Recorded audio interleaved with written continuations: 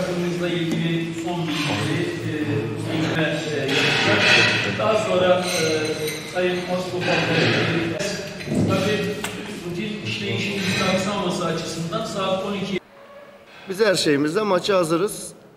Tedbir biz almıyoruz. Sadece analiz yapıyoruz. Rakibin iyi kötü yönlerini tabii analiz ediyoruz ama önemli olan bizim ne yapacağımız. Biz eğer e, kendi oyunumuzu, kendi istediklerimizi sahaya yansıtırsak bizim için gerisi önemli değil. Ama tabii ki rakibin analizleri yapılıyor. Hangi yönleri iyi, hangi yönleri kötü. Bunlarla alakalı gereken her şey yapılıyor. Özellikle yabancı kontenjanımız dolu.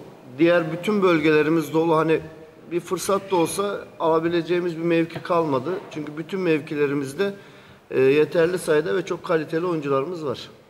Biz bu ligin markasıyız. Markalarda her zaman risk vardır. Riskli oynamak. İşte nasıl ki Süper Lig'de marka dediğimiz takımlar seyrettiğinde işte e, geçen sene Fenerbahçe'yi seyrettin, öbürünü seyrettiğinde kızıyordun.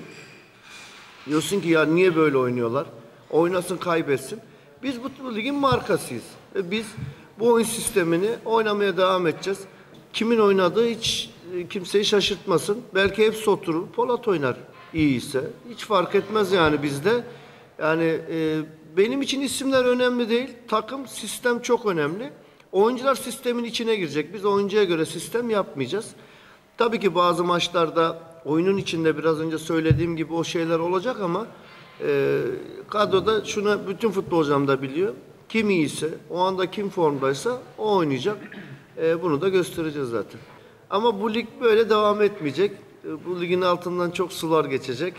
E, şu anda şampiyon ilan edilen 2-3 tane takım e, 5-6 hafta sonra neler olacağını hep birlikte göreceğiz. Önemli olan istikrar. Şu andaki birinciler, ikinciler, sonuncular sunidir.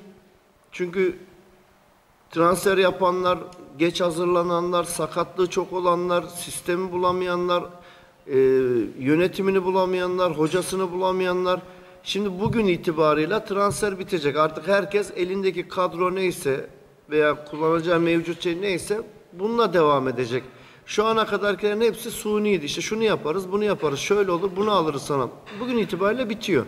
Bundan sonra herkes elindekini kullanmaya başlayacak. Onun için de yani şu anda tabii görünen e, işte Eyüp gibi, Tuzla gibi, Manisa gibi, Ankara gücü gibi takımlar her zaman bu ligin Erzurum, belki şu anda Denizli Spor Lig'in sonunda 14 tane oyuncu aldı yeni.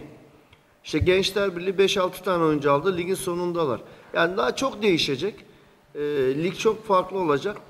E, ve her senede sürpriz takımlar çıkar muhakkak bir tane. E, onun kim olacağını bilemiyoruz ama e, dediğim gibi önemli olan e, biz ve bizim şampiyonluğumuz. Gerisi önemli değil bizim için. Samspor takımı şampiyonluğu oynuyor. Arka kısımda, arka kısımda gençlerle 18 yaşında, 20 yaşında, 25 yaşında onlarca gençle